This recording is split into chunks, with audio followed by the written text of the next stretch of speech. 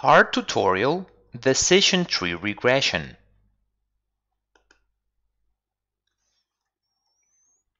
Supervised machine learning consists of finding which class output target data belongs to or predicting its value by mapping its optimal relationship with input predictors data. Main supervised learning tasks are classification and regression. This topic is part of Regression Machine Learning with R course. Feel free to take a look at course curriculum by clicking link at description box below. This tutorial has an educational and informational purpose and doesn't constitute any type of forecasting, business, trading, or investment advice. Please read full tutorial disclaimer at the end of the video.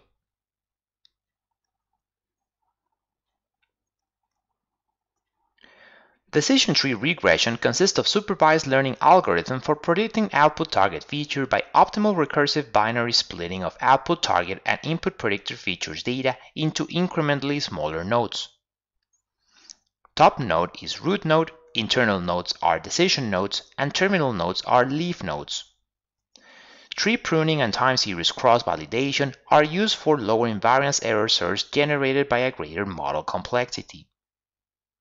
For full reference, I recommend that you read Breiman, Friedman, Olshen and Stone, Classification and Regression Trees, published by CRC Press in 1984.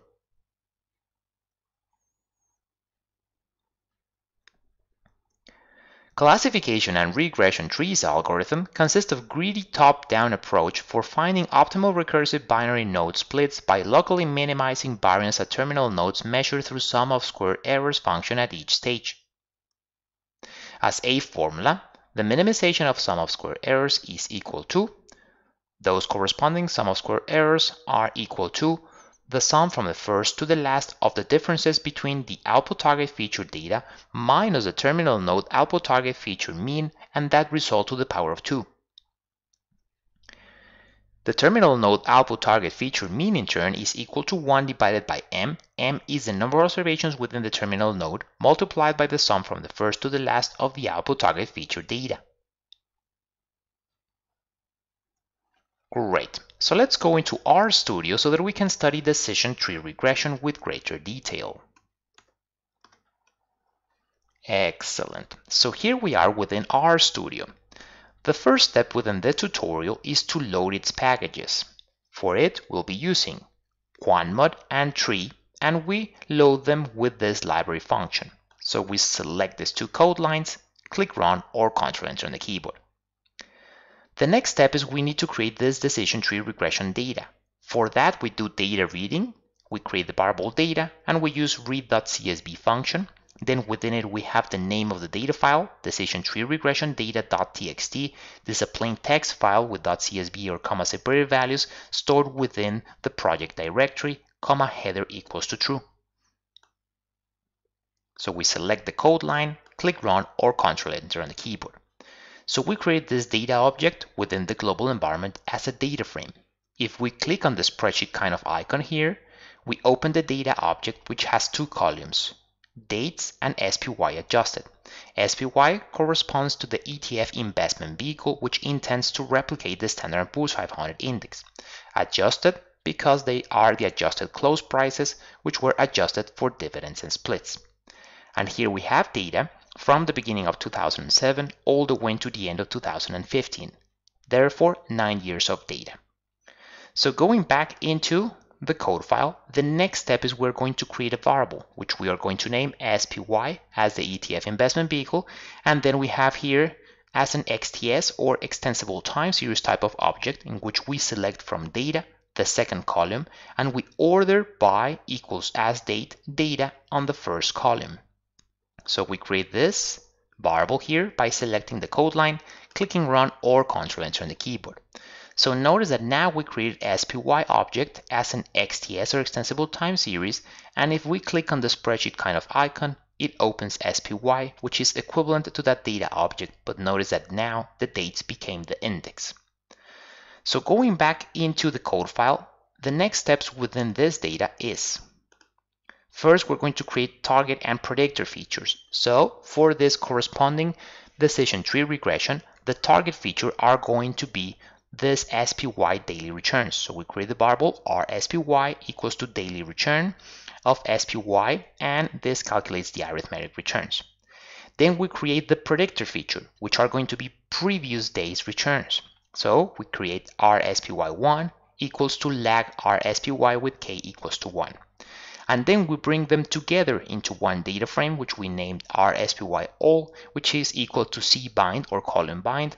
And then we have rspy rspy1 we rename its columns with c for columns rspy and rspy1 and last we remove any rows with non-availables within them with na.exclude so we select these code lines.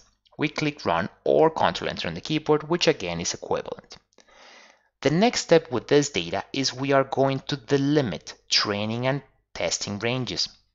So as an example, for educational purposes, which can be modified according to your needs, we're going to divide data within the training range for the first seven years of data and the testing range as the last two years of data. For this tutorial, we'll only be using the training range for the decision tree regression. So as mentioned, we created two variables, rspyt for training range, rspyf for testing range, and we'll be using window function, and for rspyall, the training range ends at the beginning of 2014, as mentioned, the first seven years of data, and the testing range starts at the beginning of 2014, therefore the last two years of data. So we select those two code lines we click Run or Control Enter on the keyboard, which again is equivalent. So now that we have all the data ready, we can continue with decision tree regression. For its calculation, we create this variable, which is named DTT, for decision tree, and notice that it's calculated within the training range, that's why we have that second T, and we use tree function. Within it, we have the following. First, the target feature, RSPY, being explained by the predictor feature, RSPY1, and the data we'll be using is RSPYT, the one from the training range. So we select the code line there and then click run or control on the keyboard and that calculated the decision tree regression. So let's go ahead and print results for it. So we have DTT with the dollar sign, we get its frame, and then we're going to plot that DTT together with its text. So we select these three code lines, click Run or Control Enter on the keyboard. So notice here that we have the chart to the right, that's our corresponding decision tree regression chart. Notice that it only did one split, therefore we have the top node and two terminal nodes or leaf nodes. We don't have any intermediate or decision nodes. Notice that the corresponding threshold for the split is this value right over here. And also looking at the frame, we have the following. At this first row, we have, as mentioned, the top node or root node. Within it, we have the corresponding threshold for left and right, which is found right here. We have y value, that's the arithmetic mean of the target feature data within that training range. Then we have the calculation of its deviation. That's the one we are minimizing for the calculation.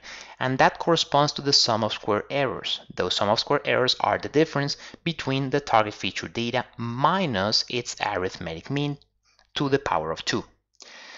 Then we go into the next row. That's the corresponding terminal node leaf. That's the one we have right here on the left.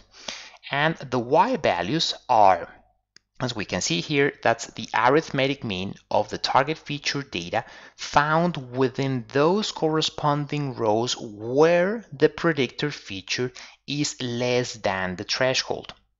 And then we have here the corresponding deviation, which is again the sum of square errors, which we want to minimize, of the corresponding target feature data, in this case, the one found at the rows where the predictor feature data is less than that threshold minus the corresponding y value.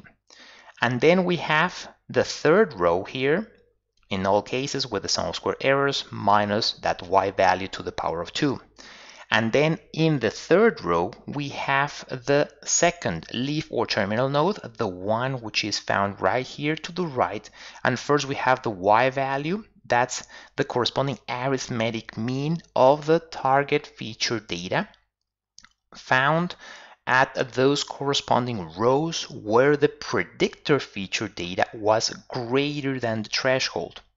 And then we have together with it the corresponding deviation, again the one we want to minimize, and that's the sum of square errors, which are the difference between the corresponding target feature data at the rows where the predictor feature data was greater than the corresponding threshold minus the corresponding y value we just explained. Again, because there's sum square errors, they are done to the power of 2.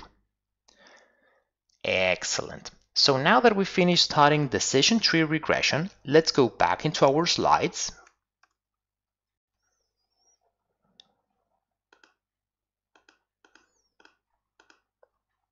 And as mentioned previously, this tutorial has an educational and informational purpose and doesn't constitute any type of forecasting, business, trading, or investment advice.